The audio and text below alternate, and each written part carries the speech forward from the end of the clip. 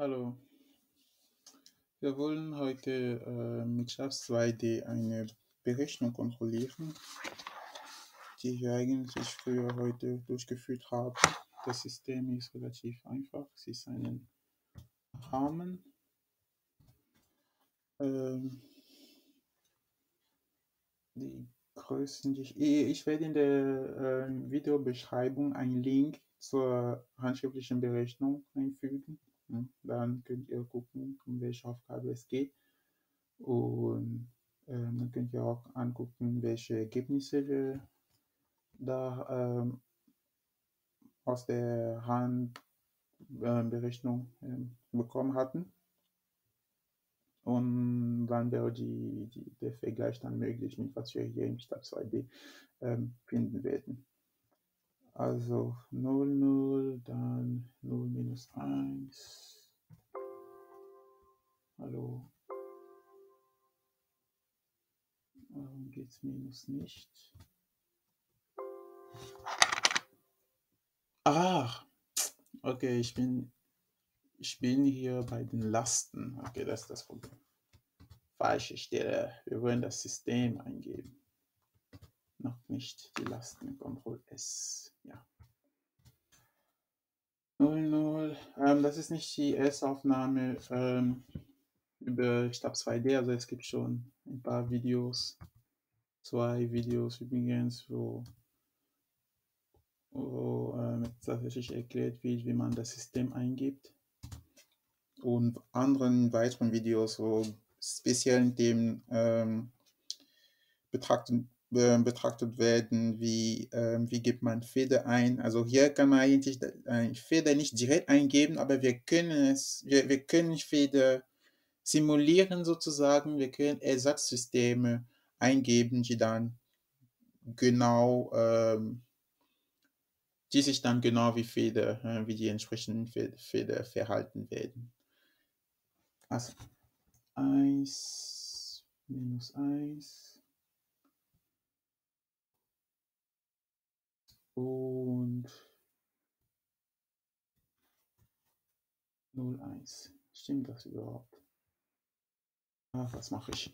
0, 0, dann 0 minus 1 gehen wir hoch, dann 1 minus 1 und dann 1, 0.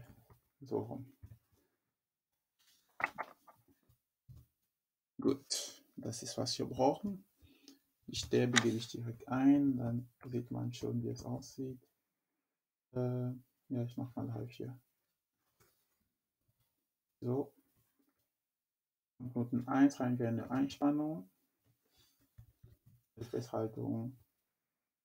Also alle ähm, Freiheitsteile sind festgehalten.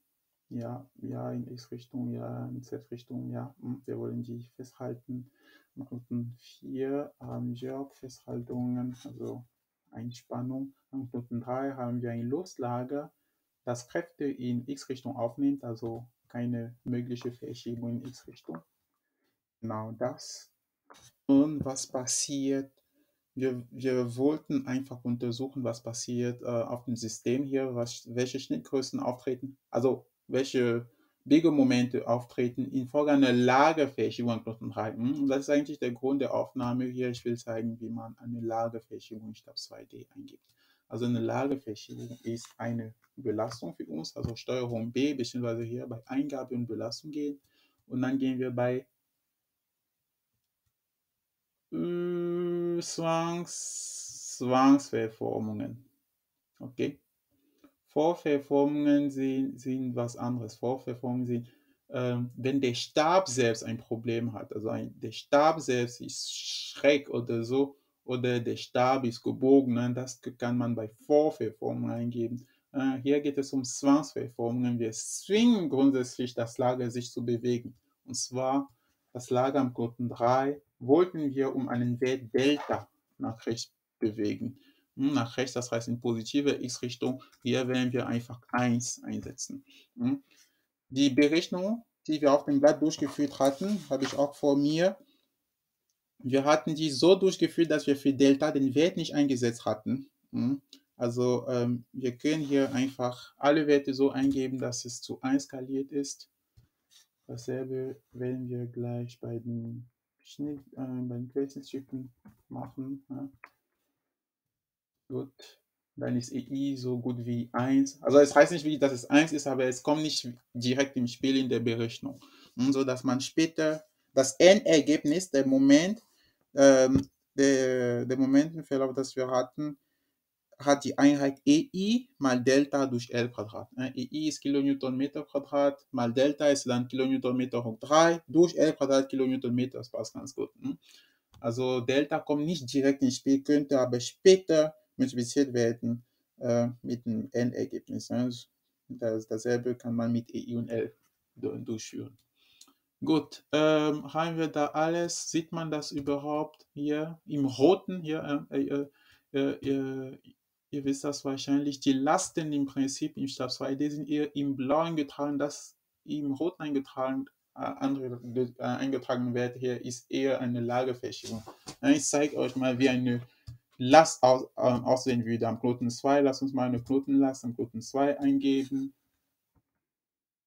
den Wert 1, ne? in blau ist es. Ne? Ja.